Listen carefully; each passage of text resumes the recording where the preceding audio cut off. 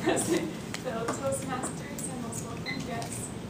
Um, today I will start by reading a quote from Rome Bishop, and it says, um, what if education were less about acquiring skills and knowledge, and more about cultivating the dispositions and habits of mind that students need for a lifetime of learning, problem solving, and decision making?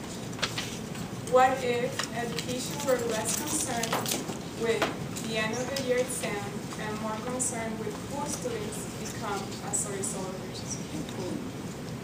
Um, this summer I took a class called Historical and Social Historical Philosophical Foundations of Education. When I registered for the class, I was a little bit skeptical about it. I didn't really know what I would be learning in the class. I found out that it inspired me to take a different approach to education. I learned about the different philosophies of Plato and John Dewey, and the, and the different habits of mind that students should acquire in order to be able to solve problems and be able to work as a team. Um, so first I'm going to talk about the philosophy of Plato. Um, Plato believes that education is a transformation of the soul.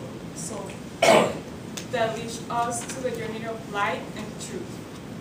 Um, and supposedly we are we are we live in a cave, and the cave is darkness and ignorance. And when we become educated, we see like the light, we see the knowledge, and we can see wisdom. Um, so with this in mind, um, of things that the curriculum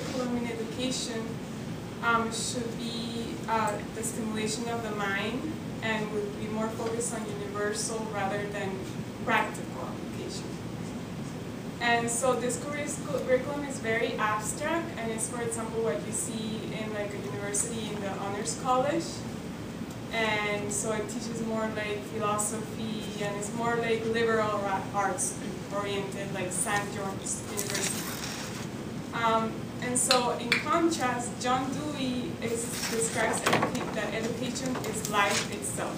Um, is He thinks that the goal of education is growth, um, and it's, that is the ability to develop.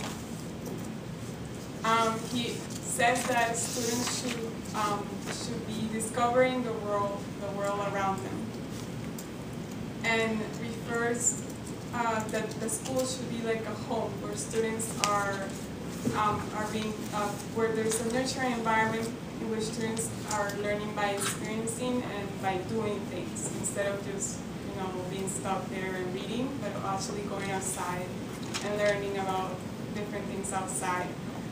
Um, so, for, I think that um, today school has become very focused on, uh, on, on the results on just students, you know, studying for the SAT, studying for the FCAT, and not really knowing why they're studying for that, or just memorizing things and not really knowing the purpose of it. Um, and I think that education should be focused more on learning by doing and reflecting on what they have learned.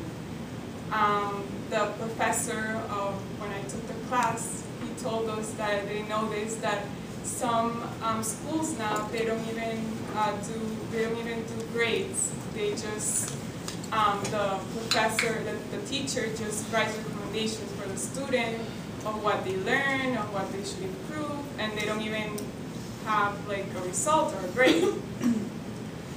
and so that opened my eyes um, to a lot of, I didn't know, to a lot of maybe problems that education faces today and maybe things that could be improved.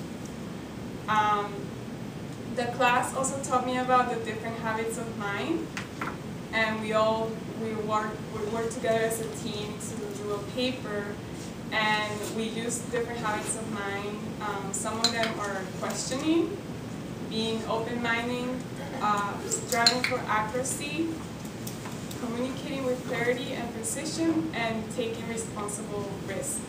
So these are all habits, there are more habits of mind, but these are all habits of minds that um, students are should learn um, so that when they're working on a project or when they're working uh, as a team, um, they are able to solve problems quicker and um, and resolve issues of today for today. um, so, well, I will leave you with um, with another with a quote. It's from the same person. And so we will need to look beyond schools as training grounds for the memory and focus more on schooling as an inculturative process that cultivates dispositions of thinking.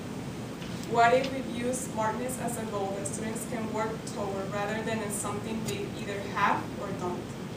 We envision education, we envision education in this way implies that we will need to rethink mainly, mainly many of our well accepted methods, focus more on schooling as an inculture and focus more on um, schooling as an inculturative process that cultivates this